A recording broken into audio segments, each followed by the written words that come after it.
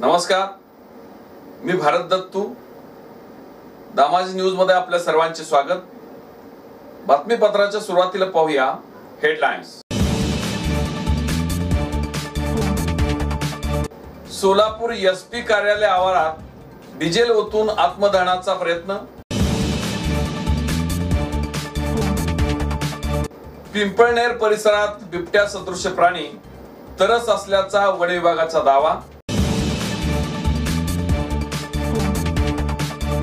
लक्ष्मी देवडी येथून इसम बेपत्ता. नवजात बालकास टाकून दिल्याप्रकरणी अनोळखी स्त्रीवरती गुन्हा. पोलिसांचा जुगार अड्ड्यावरती छापा.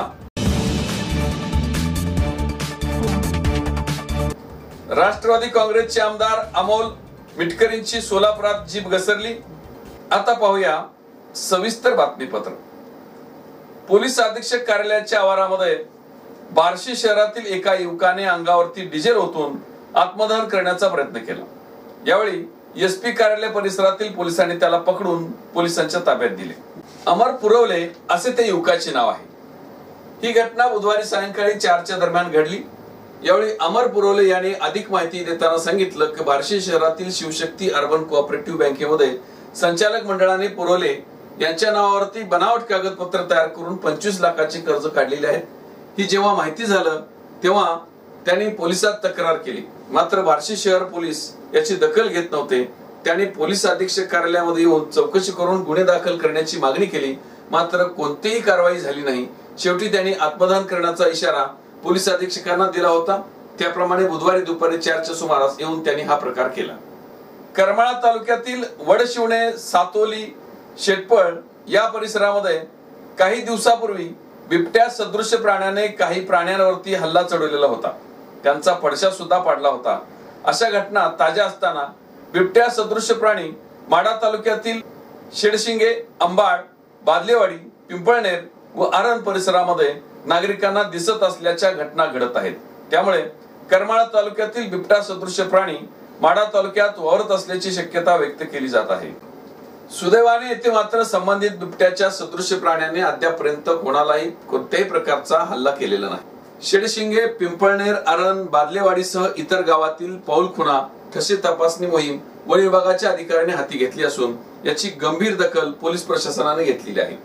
आठवड्यापासून वन विभागाचा तपास सुरू असूनही तो बिबट्या आहे की तरस किंवा दुसरा प्राणी आहे मात्र अद्यापर्यंत कळत मात्र काही नागरिकांच्या मते हा प्राणी बिबट्याच आहे. त्यामुळे भीतीचे वातावरण पसरले आहे. या परिसरामध्ये ऊस केळी द्राक्ष बागा ही पिके असल्याने बिबट्या सदृश्य प्राण्याला शोधणे कठीण जात आहे. याबाबत मात्र सर्व नागरिकांनी सतर्क राहण्याचे आवाहन पोलीस व वन विभागाच्या वतीनं करण्यात आलेले आहे. या परिसरातील नागरिकांनी मागणी करूनही वन विभागाच्या वतीनं या परिसरामध्ये पिंजरे लावण्यात आलेले नाहीत.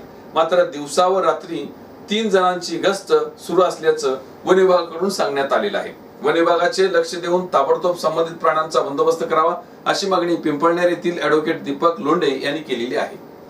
लक्ष्मी देवडी येथून महादेव भानुदास एकतपुरे हे इसम जमिनीचे कागदपत्रे वकिलाला देऊन येतो असे सांगून ते अकलूजला निघून गेले. ते अद्यापर्यंत परत आलेले नसून आपले वडील बेपत्ता असल्याची तक्रार अठरा वर्षीय मुलाने दिलेली आहे.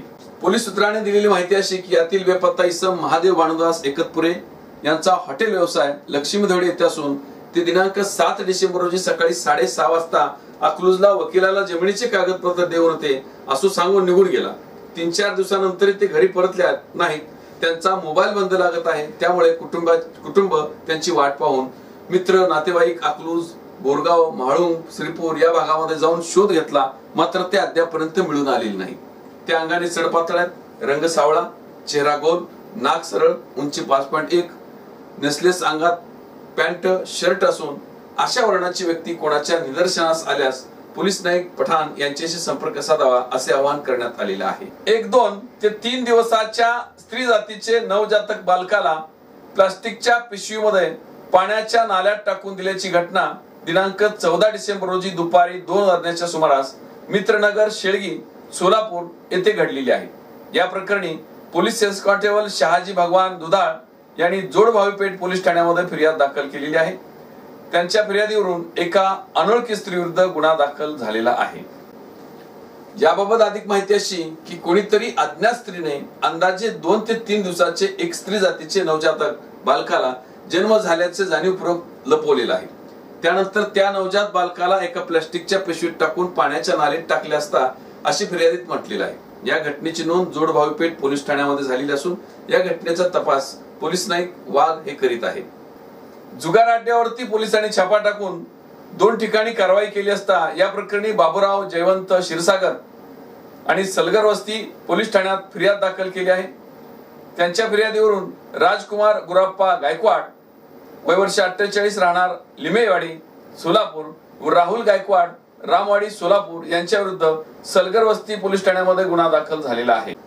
याबाबत अधिक माहिती अशी की वरील संशयित आरोपी हे दहा टक्के कमिशनवर रस्त्याच्या वर येणारे जाणाऱ्या लोकांकडून स्वतःच्या आर्थिक फायद्यासाठी आकड्यावरती पैज लावून कल्याण मटका नावाचा जुगार खेळताना मिळून येऊन जुगाराचे साहित्य असा एकूण नऊ हजार पाचशे पंच्याण्णव रुपयाचा मुद्देमाल मिळून आला आहे. असे फिर्यादीमध्ये म्हटले आहे. या घटनेची नोंद सलगर वस्ती पोलीस ठाण्यामध्ये झालेली असून या घटनेचा पुढील तपास पोलीस हेड कॉन्स्टेबल पवार हे करीत आहेत.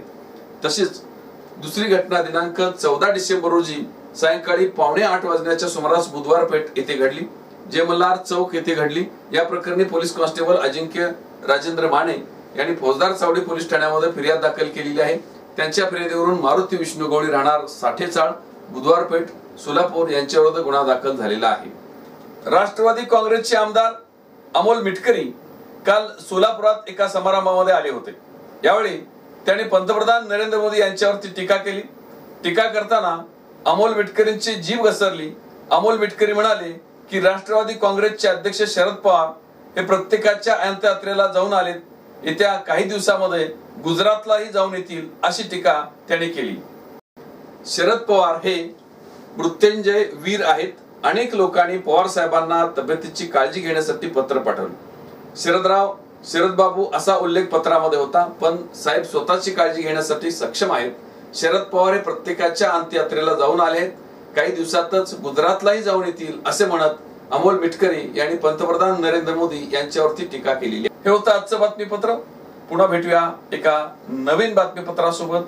नमस्कार.